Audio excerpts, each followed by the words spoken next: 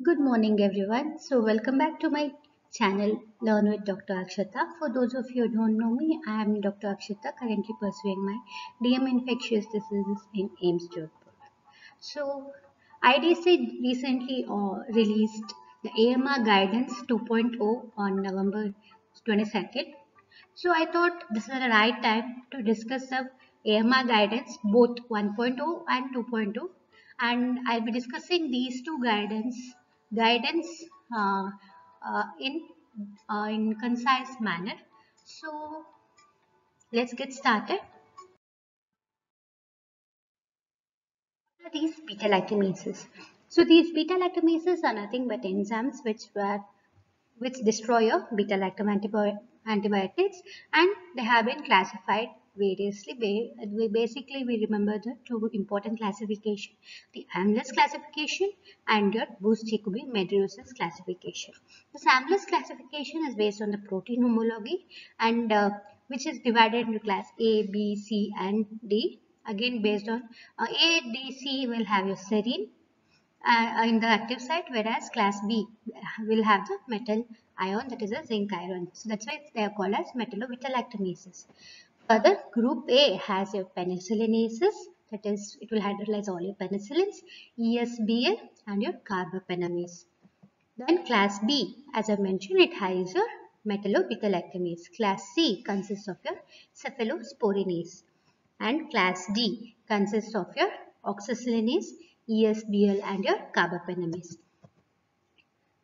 Coming to your Bush-Jacoby Medeiros classification, this classification is based on functional similarity.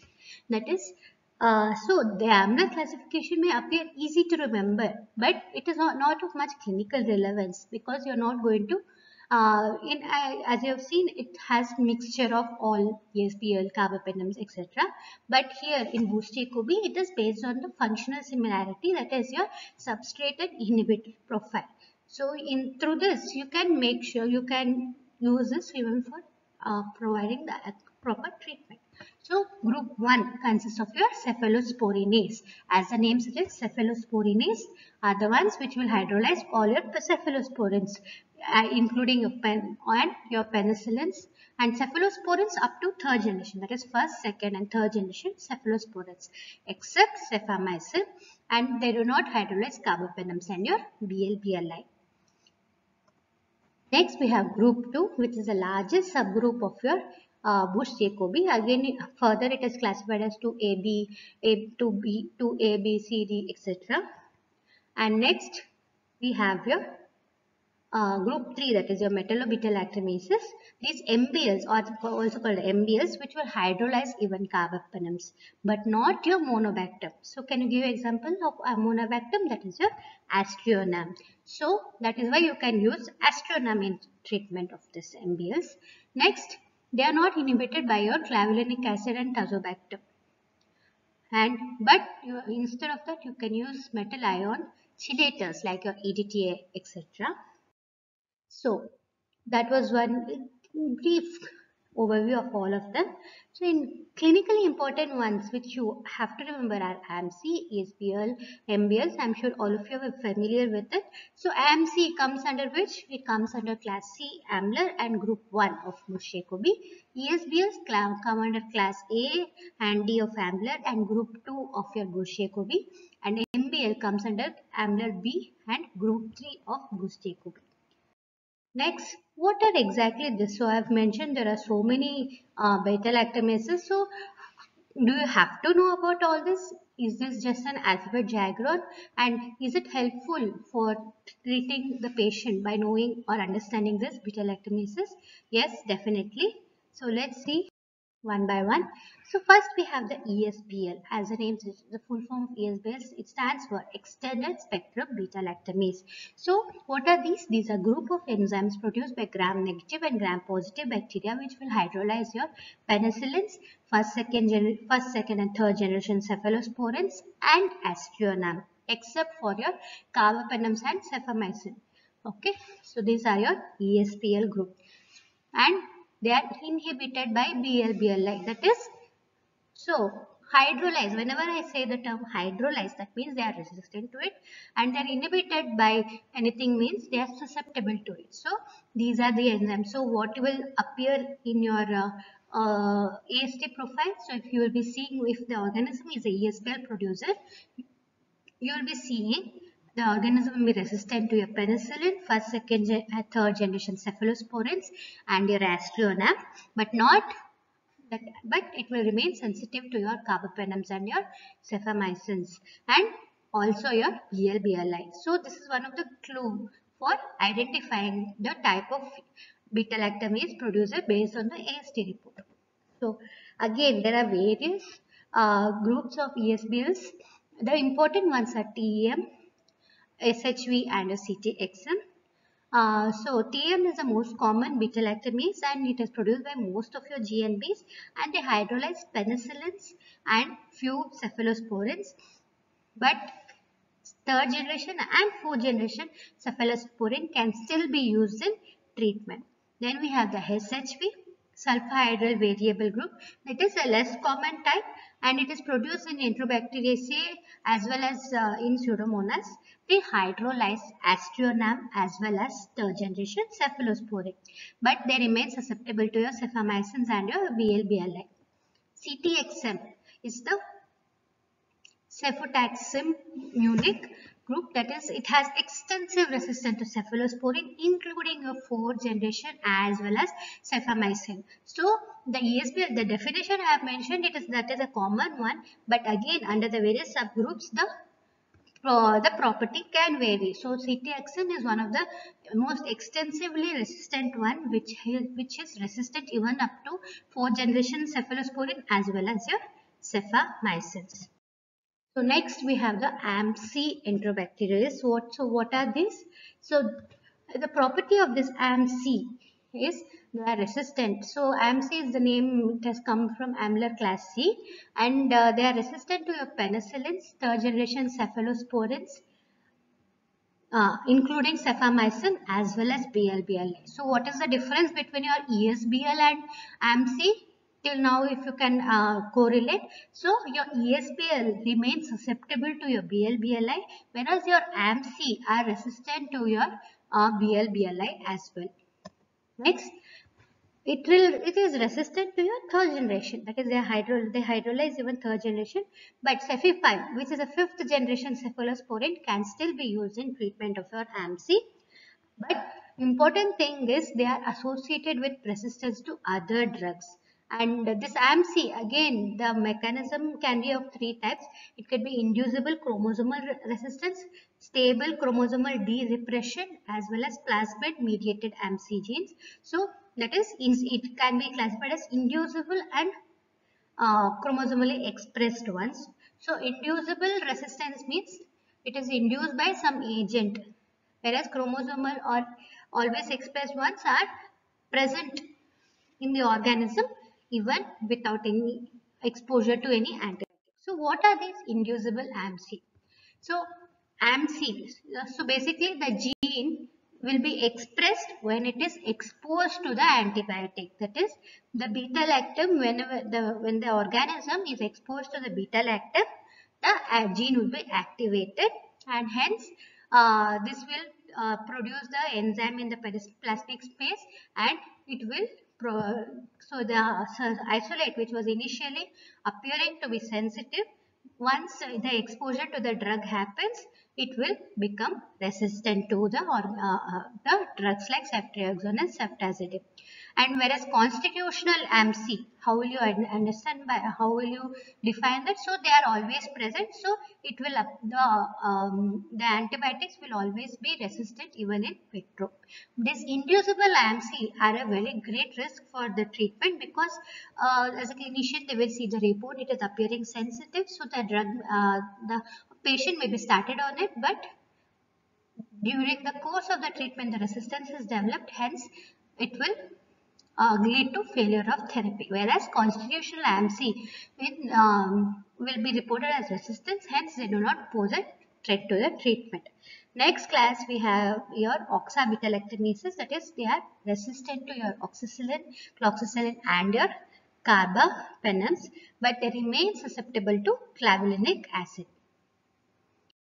So next class is your carbapenemases. As the name suggests, they hydrolyze all of it. That is, they will hydrolyze your penicillins, your, all of your cephalosporins, cephamycins and your carbapenems.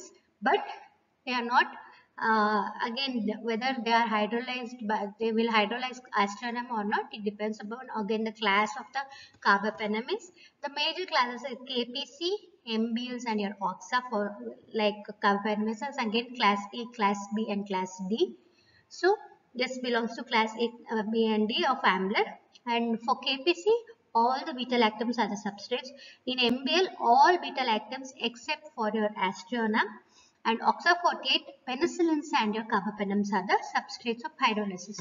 So whenever as I mentioned hydrolysis means resistance. So KPC all the beta lactams, MBLs all beta lactams except for your aztreonam. Then you can see the KPCs are easily inhibited by the newer BL-BL combination or the newer beta lactam inhibitors like avibactam, vaborbactam, relebactam whereas MBLs are not whereas oxa, oxa48 avibactam 2 is the only newer BL-BLI combination which can be inhibited. So when will you suspect various beta lactamases? So those who have attended my webinar will be familiar with this question. So what so in this situation what will you be expecting do you will you be expecting a beta lactamase so you can see it is sensitive to all. So there are no beta lactamases in this. Again i am not uh, like it could be the inducer one. We should always be concerned about that next identify that possible type of beta lactamase in this. So here you can see it's ampicillin resistant but sensitive to all others. So this is penicillin next it is ampicillin resistant ceftriaxone resistant. So whenever you in a sensitivity report you are seeing ceftriaxone resistant and other uh, resistance to other first, second, third generation cephalosporins, you should always be suspecting ESBL. So ceftriaxone resistance and or MIC more than 2 indicates it can be used as a almost a surrogate marker of your ESBL but again it should always be confirmed by a molecular method.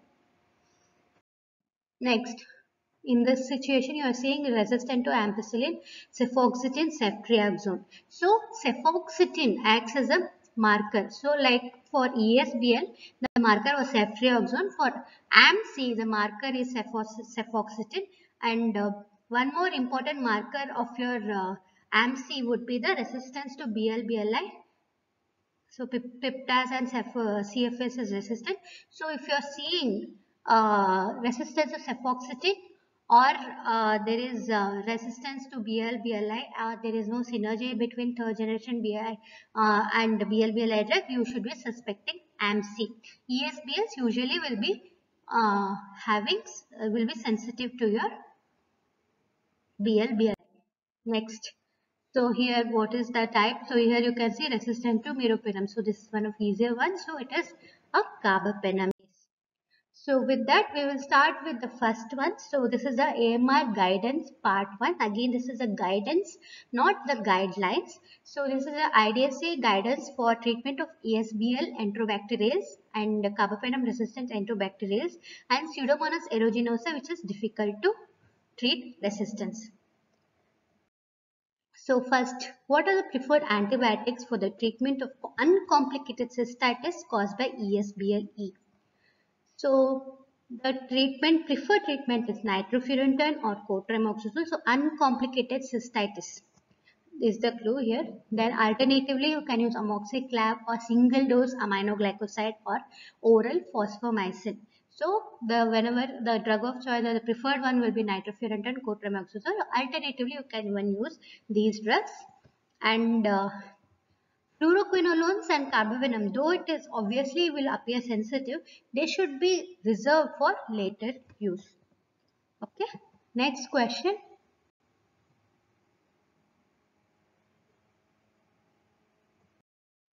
What are the preferred antibiotics for treatment of pyelonephritis or complicated urinary tract infection caused by ESBL-E? So what is a complicated UTI first? So a complicated UTI is defined as a UTI which occurs in association with a structural or a functional abnormality of the genitourinary tract or any UTI in male patient. So this is when this is what you will be classifying as complicated UTI, structure or functional abnormality and UTI in male patient and also patients who are having UTI and they are diabetic. So the drug of choice or the treatment preferred treatment is your carbapenem, carbapenems, your fluoroquinolone, co-trimoxazole. So suppose the patient is started on carbapenem because of the empirical treatment. So patient is having uh, complicated UTI, so you will maybe suspecting it, uh, it if the local or the local epidemiology suggests that most of the isolates are ESBL producers and you have started the patient on carbapenem. But afterwards you get a report that it is sensitive to other drugs like Cipro, Levo. So what should you do? Should you continue the carbapenem? No, the guidance suggests that you need to stop the carbapenem and you should start the antibiotic, lower antibiotic, which should be Cipro, Levo or Cotrimoxazole based on the sensitivity pattern and uh, they do not recommend nitrofurantoin or oral phosphomycin because they do not reach adequate concentration in the renal parenchyma. And doxycycline or any other tetracycline is not recommended because they do not achieve adequate concentration in the urine or the sea. So what are the preferred antibiotics for treatment of infection outside the urinary tract and which is caused by ESBL-E? A carbapenem is a preferred treatment for infections outside urinary tract. And whenever possible you can do the oral step down into oral either fluoroquinolone or the cotrimoxazole after the patient is adequately hemodynamically stable or any source of infection has been removed. So after you can do the oral step down. And for this step down you should prefer oral fluoroquinolone or the cotrimoxazole and you should avoid step down into nitrofurantoin, phosphomycin, doxycycline or amoxiclav. Uh, nitrofurantoin uh, and, and fosfomycin as I mentioned they do not achieve any concentration. Doxycycline again they do not achieve good concentration in the serum as well. Hence it should not be used in treatment of your ESBL bloodstream infection as a step down therapy as so, is there a role of piptaz in treatment of infections caused by ESBL when in vitro susceptibility to piptaz is demonstrated? So, in the report you are seeing, it is piptaz sensitive okay? And it's a esbl producer. So do you can you give piptaz? The guideline recommends that no the guidance recommends that piptaz should be avoided. Uh, if it has been initiated for cystitis and later it is isolated as esbl-e but and there is a clinical improvement you need not change. So if it has already been started you can continue so if there is clinical response. But if it has not yet been started better to avoid piptaz because there are RCT indicating inferior results with piptaz when compared to the carbapenem so, is there a role of cefepime in treatment of infection caused by ESBL when in vitro susceptibility to cefepime is demonstrated? So, this is the same situation. So, if you are seeing there is sensitivity to cefepime and the ESBL producer, will you give cefepime or not? Cefepime should be avoided. Again, if it has been initiated already and there is a clinical response, you can still continue it. There is no need to change the antibiotic therapy. And this is again because of RCT which indicates a little poorer outcome with the cefepime. What are the preferred antibiotics? So next we move on to the next one that is a carbapenem resistant enterobacterias. So what is the preferred antibiotic for treatment of uncomplicated cystitis caused by CRE uncomplicated cystitis which is caused by CRE, we should look for the sensitivity to other drugs. So if it is sensitive, you can still give Cipro, Levo, Cotrimoxazole or the nitrofurantoin. I remember I am talking about uncomplicated cystitis. So or even if you can give a single dose of aminoglycosides because it achieves a good concentration in the renal, renal tissue. Next, uh, so next situation we have here it has been given as ertapenem is resistant, meropenem is sensitive. So uh, you will uh, in that situation if it is a situation like this and there is no carbapenem is detected then you can still give standard infusion meropenem. So if there is a carbapenem is detected, so you can't give a carbapenem in this situation. Okay. So if it is not detected, you can still give meropenem in the standard infusion. If the other drugs are resistant, you can try the newer BLBLI.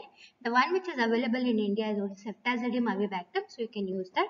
Or any other combination if, uh, if it is available, meropenem vaborbactam, imipenem cilastatin relebactam, or also cefiderocol can be used. So, what is the role of fosfomycin in uncomplicated cystitis caused by uh, CRE? So, phosphomycin uh, you should be limited to your E. coli cystitis because there is presence of this fosA gene which will hydrolyze phosphomycin and lead to clinical failure and this has been uh, demonstrated in organisms such as Klebsiella, Enterobacter, Serratia, etc. Hence, you should not be giving phosphomycin in other organisms like your Klebsiella, etc. And there is higher clinical failure, uh, failure with nitrofurantoin I mean higher clinical failure with fosfomycin than for nitrofurantoin in when it has been used for uncomplicated cystitis in other species other than E. coli. So what are the preferred antibiotics for treatment of pyelonephritis and complicated UTI caused by CRE? So for pyelonephritis or complicated UTI, the newer BLBLI can be preferred that is ceftazidime avibactam and if it is available meropenem vaborbactam or imipenem cilastatin and cefiderocol.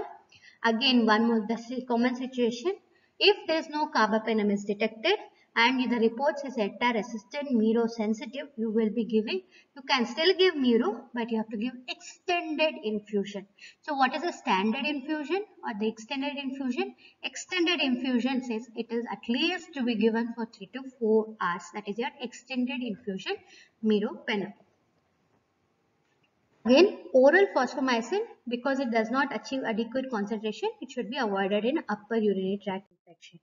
So what are the preferred antibiotics for treatment of infection outside the urinary tract caused by CRE? So other infections not UTI and it's a CRE. You, then you will have to determine whether it's MBL, non-MBL and type of basically the type of carbapenem carbapenem is. So if it's a non-MBL, you can give ceftazidime avibactam or the other newer BLBLI including cefiderocol. If it is an MBL producer, in, in India where MBL is a common one. So you can give empirically ceftazidime avibactam plus aztreonam till the exact carbapenem report is available. If it is detected to be MBL, you have to continue this ceftazidime avibactam plus aztreonam. So this aztreonam will act on your MBL. That is why you are adding to this. Ceftazidime avibactam per se does not have coverage of your MBL or you can still give cefiderocol monotherapy. If it is OXA48 like producing, you can give ceftazidime avibactam and in case of intra-abdominal infection, you can give high dose tigecycline or eravacycline can be given. So, am, am I clear? So, for other infections caused by CRE, you will give for non-MBL, the newer BLBLI that is ceftazidime avibactam. MBL producer, you will be given ceftazidime avibactam plus aztreonam. OXA48 again you can still give ceftazidime for intra-abdominal infection your high dose tigecycline because these achieve good concentration in the tissue you can give this um, tetra newer derivatives of tetracycline like your tigecycline and eravacycline and always remember this is a very important point. Tigecycline and eravacycline they have rapid tissue distribution. Hence, they have very low concentration in urine and serum. Hence, they should never be given in bloodstream infection and your urinary tract infection. So, what is the role of polymyxins for treatment of infections caused by CRE? Uh, both polymyxin B and colistin should be avoided. And if at all you have to choose, you can give colistin in case of uncomplicated CRE cystitis. So why is this, why are they avoiding? So as you all know, they have removed the sensitive breakpoint of your polymyxins. So why is that so? Basically uh, because they are not able to achieve good concentration in the blood for having the enough action. Hence, you should preferably avoid polymyxins in treatment. What is the role of combination therapy for infections caused by CRE, combinations again should be avoided. combination like beta-lactam plus aminoglycoside or fluoroquinolone or polymyxin, they are not routinely recommended because the addition of the second drug is it will be increasing the likelihood of other antibiotic associated adverse effects. So next we have the last part of the AMR guidance part 1 that is difficult to treat resistance of Pseudomonas aeruginosa. So DTR Pseudomonas aeruginosa in case of uncomplicated cystitis, the newer BLBLI. So in this uh, ceftolozane tazobactam is known to have a very good effect on your uh, uh, on your Pseudomonas aeruginosa. So you will always be preferring ceftolozane tazobactam if it is available or you can still use a ceftazidime avibactam but there are various reports in India which are suggesting that the ceftazidime avibactam has uh, like increased resistance to your pseudomonas again depending upon the sensitivity to various BLBLI. So you can start the therapy or even a single dose of aminoglycoside can be used if it's, it is resistant colistin can be considered. Next in next one is your pyelonephritis and your complicated urinary tract infection. In that again your newer BLBLI or a cefiderocol can be used. Again, single dose of aminoglycoside can be used as a reserve therapy because again the issue of the achieving good concentration. And for non-UTI infection, uh, ceftolozane, tazobactam, where and your cefiderocol or aminoglycoside will remain as a reserve drug. And if they are resistant to your BLBLI, so your option is aminoglycoside with BLBLI can be given. And if it is even resistant to your aminoglycoside, polymyxin, there is no other choice but give polymyxin plus your BLBLI. So next we move on to the next important uh, guidance. It is IDSA guidance on treatment of antimicrobial resistant gram-negative infection version 2.0 and this was released on 22nd of November and this is uh, they have focused in this on AmpC-beta-lactamase, carbapenem-resistant Acinetobacter baumannii and a Stenotrophomonas maltophilia infection. So, moving on directly to the guidance. So, which, anti, uh, which enterobacterials should be considered at moderate to high risk for clinically significant AmpC production due to inducible AmpC gene? So, so which, basically which are those organisms uh, which produces inducible AmpC gene? So we are all familiar with this mnemonic space or spice organisms. So Serratia, Providencia, indole positive protea that is protea, uh, uh, Proteus, Morganella, Providencia and your uh, Citrobacter and Enterobacter. Uh, these are known to be producing your AmpC or inducible AmpC resistance. But this guidance, they have said that uh, they are going to consider only those which are at moderate to high risk. And because the low risk, the production of the inducible AmpC is not much, hence they are concentrating on these three organisms, Enterobacter cloacae, Klebsiella aerogenes, which was before known as Enterobacter, uh, Enterobacter aerogenes, and your Citrobacter freundii. So, which antibiotics induce your AmpC? Again, there are many uh, antibiotics. So, there are some are potent inducers, some are weak AmpC inducers. The potent inducers include your aminopenicillins, that is amoxicillin, ampicillin, and various combinations. Next, uh, uh, narrow spectrum, uh, that is your first generation cephalosporin, uh, cepha and your cefamycin. So, these are potent inducers of your AmpC. When weak inducers include your piptaz or piperacillin and ceftriaxone, ceftazidime and your aztreonam. So why is it important that you know this one? So basically if in case of an inducible AmpC organism you need to avoid the potent inducers so as to uh, treat the infection. So which antibiotics can be used in this. So these are the antibiotics which are which can resist AmpC and hence can be used in treatment. So these are uh, fluoroquinolone, aminoglycosides, cotrimoxazole, tetracycline, other non-beta-lactam antibiotics and in beta-lactam cefepime can be still used because it's a low though it is a low inducer they remain stable against the AmpC that is why it can be still used. So what is the role of cefepime for treatment of infection caused by enterobacterials at moderate to high risk uh, of clinically significant inducible AmpC. So what is the role of cefepime?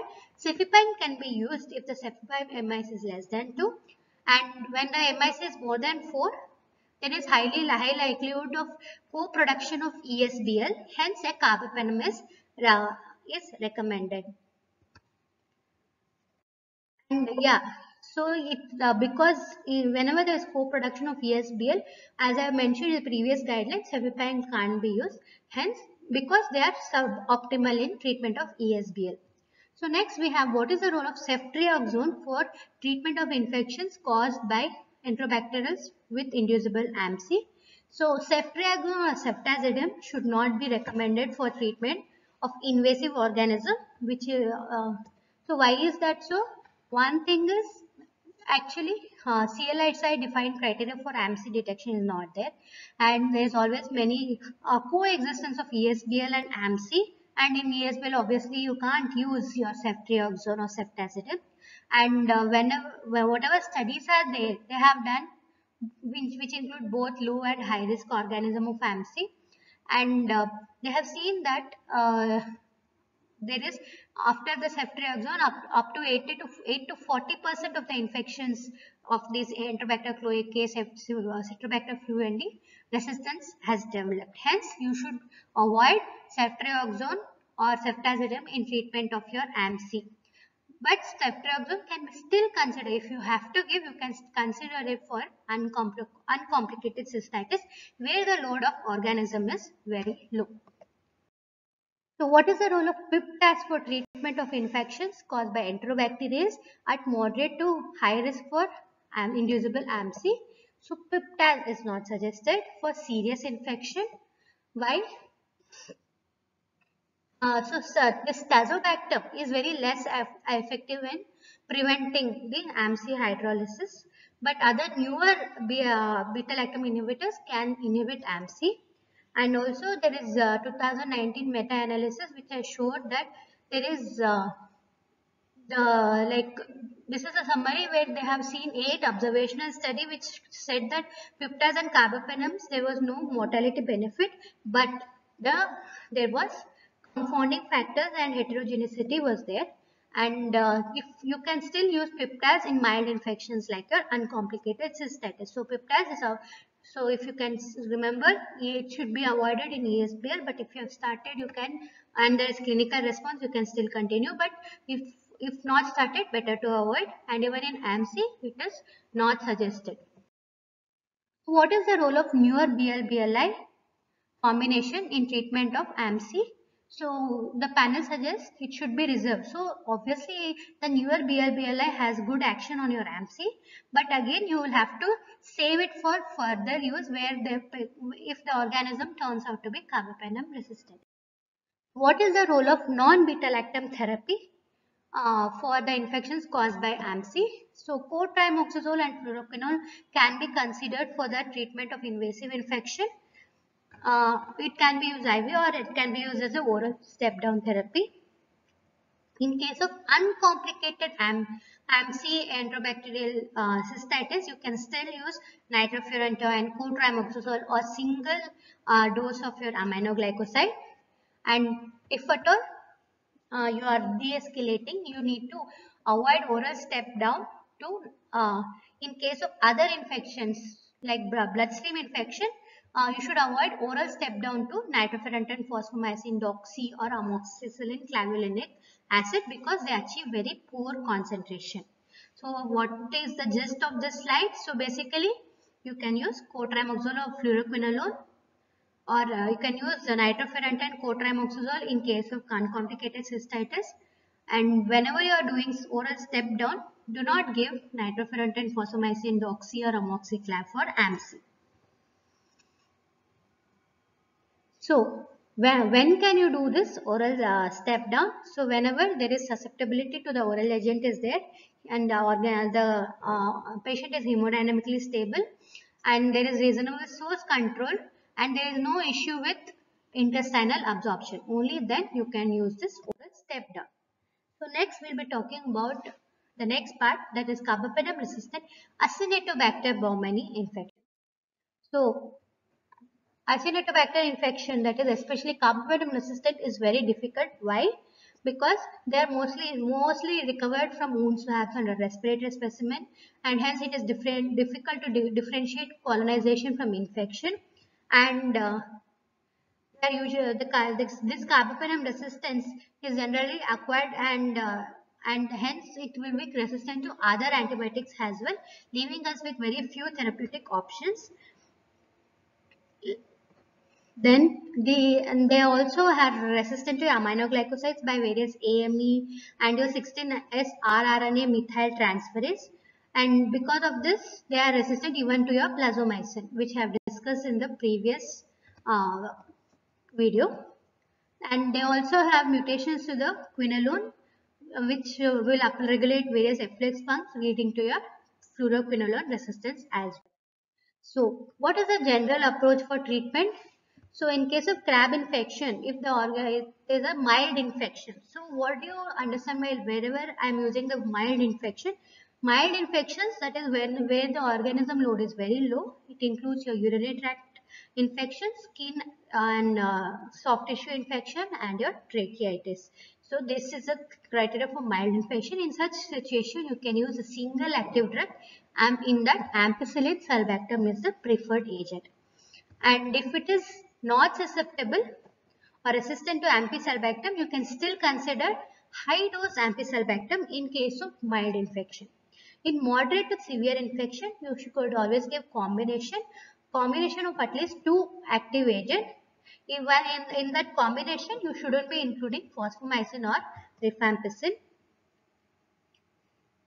And there is, uh, they also suggest not to use nebulized antibiotics.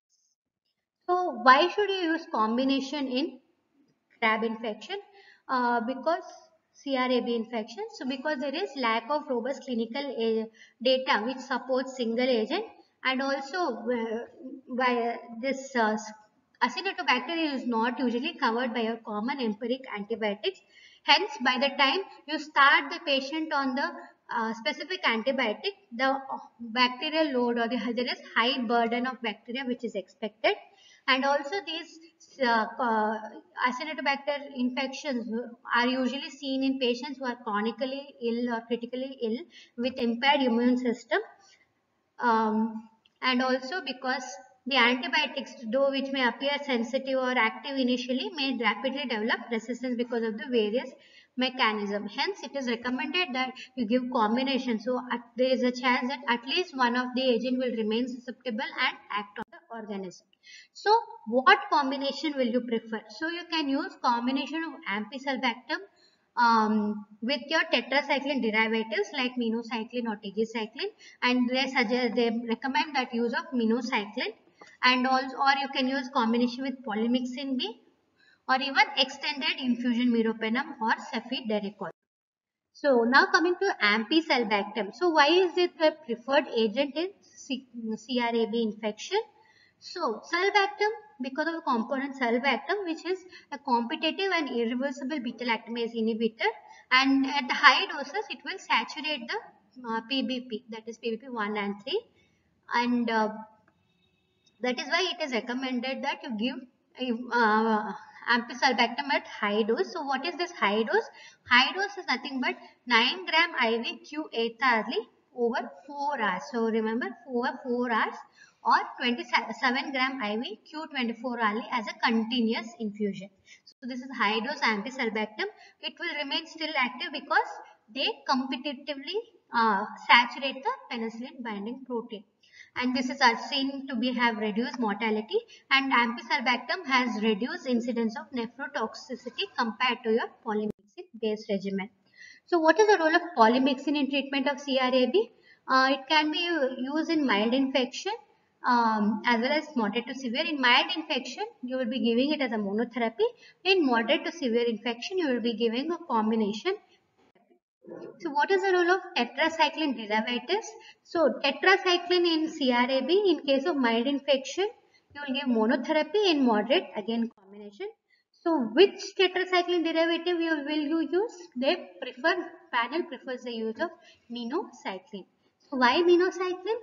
Because there is good clinical experience with this and there is defined CLSI susceptibility inter in uh, interpretive criteria which is not available for tigecycline and uh, what is uh, high? They recommend the use of high dose minocycline that is 700 mg loading dose followed by 350 mg every uh, 12 hours which is more effective than the usual standard minocycline dose and it should always be used in, con in combination with your sulbactam and your polymyxin. So high dose tigecycline can be used as an alternative option but again remember this tigecycline should not be used in BSI or your uh. And uh, because there were the monotherapy with tigecycline was associated with higher mortality, uh, huh, remember one more important point which I wanted to stress was uh, in pneumonia there is various studies which have shown uh, where there was one study which has showed that it was associated with higher mortality uh, uh, then but when they are used in high doses there was no mortality difference.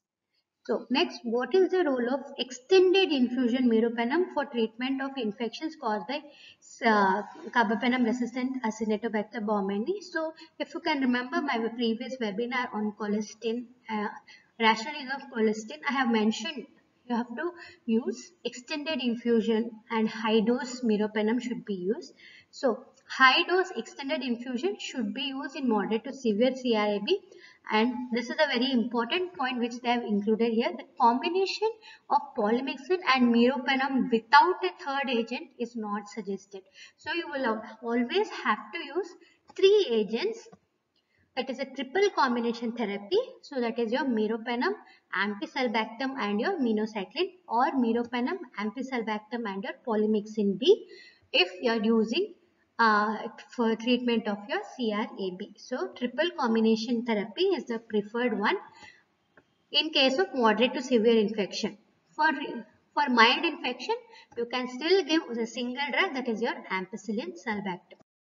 So what is the role of nebulized antibiotic for treatment of respiratory infections caused by CRAB? So the panel does not suggest adding any nebulized antibiotics why? Because uh, whatever uh, uh, nebulization we are giving, the parenteral formulation is not specifically designed for that, leading to suboptimal delivery. And there is lack of benefit in the clinical trials and also because of uh, concerns regarding unequal distribution and uh, there is concerns of bronchoconstriction. So again I am uh, repeating this, this point is giving nebulized antibiotic alone is not recommended. So next that was about your carbapenem resistant Acinetobacter baumannii. Next we'll talk about Stenotrophomonas maltophilia. So in Stenotrophomonas maltophilia, so what is what is this organism? So it's an aerobic glucose non-fermenting organism, GNB, which is ubiquitous, and they are notorious to produce biofilm and virulence factor and that can lead to colonization or infection in vulnerable hosts. And they have the potential to cause serious infection. And again, just like your Acinetobacter baumannii, it is difficult to differentiate colonizing organism or your whether it's a true pathogen. So why is this Stenotrophomonas difficult to treat?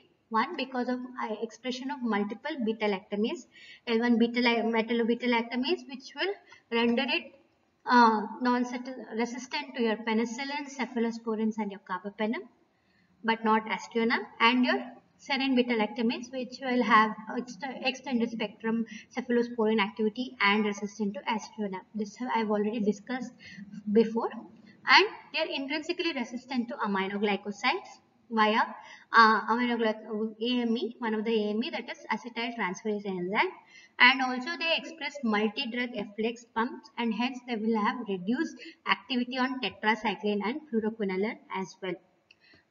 And oh, it remains sensitive to your polymyxin. So which drugs are effective? Uh, cotrimoxazole, uh, ceftazidime, uh, so it remains sensitive to ceftazidime but it is not suggested to use it because there is uh, the production of the intrinsic beta lactamases which will render it ineffective. and then cefiderocol which is not available in India. Levofloxacin again this has to be used with caution because as I mentioned before increased resist fluoroquinol resistance has been demonstrated. Then minocycline uh, and your chloramphenicol though it is uh, active uh, it is rarely used because of the various complications. So what is the general approach for treatment of infection caused by Stenotrophomonas maltophilia? So again, depending on the type of infection, mild infection or moderate to severe. So as I mentioned before, mild infection includes your UTI, your tracheitis, UTI, tracheitis and your skin and structure infection. So for mild infection, the treatment of choice is your, you can give a monotherapy that is with cotrimoxazole or minocycline. Tigecycline, levofloxacin, cefiderocol can be your alternative treatment. So the drug of choice will be remain cotrimoxazole or your minocycline. Next, for the moderate to severe infection, combination uh, therapy is preferred. What is the combination will be preferring? Cotrimoxazole and minocycline is the preferred treatment and if at all you want to give uh, monotherapy, you can start the patient on cotrimoxazole and you can add the second agent that is preferably minocycline if there is no clinical improvement. And if there is resistance to cotrimoxazole or minocycline, you can still use ceftazidime avibactam with aztreonam because uh, you can't use ceftazidime uh, alone per se because uh, as I mentioned of the intrinsic beta-lactamase uh, production but aztreonam will counteract that. Hence, you can use the combination ceftazidime, avibactam and your aztreonam.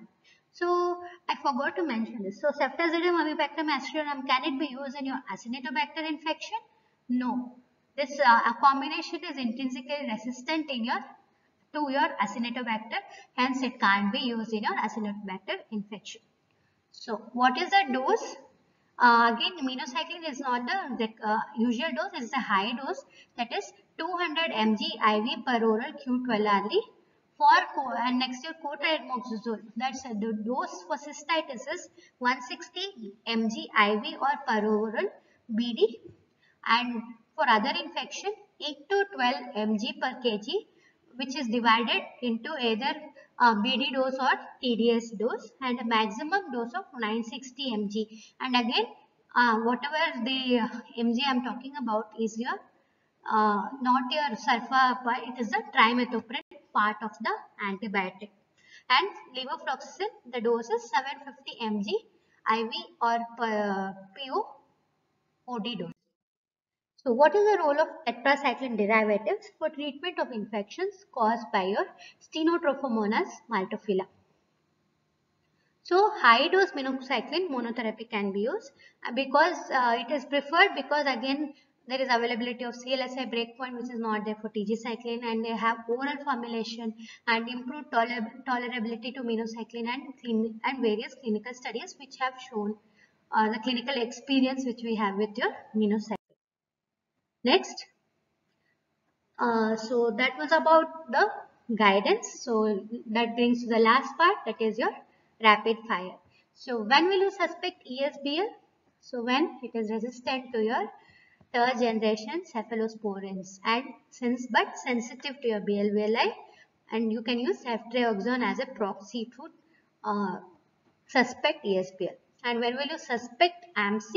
So as I mentioned resistant to BLBLI with resistance to cefoxitin or there is no synergy between three, third generation cephalosporin with your BLBLI. That is when you will be suspecting AmpC. So what is the treatment of choice for stenotrophomonas? Again it is cotrimoxazole with or without. So for, for your uh, mild infection you can give as monotherapy or in case of moderate to severe combination of cotrimoxazole with minocycline is a recommended one. So what is the treatment of choice for CRAB or carbapenem resistant Acinetobacter baumannii infection? So in that case it is the meropenem uh, uh, the combination triple combination high uh, high dose extended infusion meropenem with ampicillin and your minocycline. In case of that is in case of your moderate to severe infection, if it is a mild infection, you can still give a monotherapy of your ampicillin. So ceftolozane tazobactam is best used against difficult to treat Pseudomonas aeruginosa. And what is the treatment for your NDM CRE? You can give ceftazidime, avibactam plus aztreonam and remember it should be infused in a single vial. So what is the duration of your beta-lactam and most of your BLBLI? Remember, prolonged infusion for at least 2 to 3 hours is the recommended one. So in every presentation, I emphasize on this fact because it is very important that all your beta-lactams and beta-lactam inhibitors are given as a prolonged infusion over 2 to 3 hours because they are time-dependent antibiotics. And what was the important takeaway in your ESBL AmpC? What is the role of test? It should not be given if at all you have started with the clinical response you can still continue then what is the role of cefepime in your AmpC again the same as piptaz you you, you, sh you shouldn't be it is not suggested but if it is started and there is clinical response you can still continue. So that's it. I hope all of you liked my presentation. And if you liked it don't forget to like share and subscribe. And share it to all your clinicians and your uh, colleagues for thank you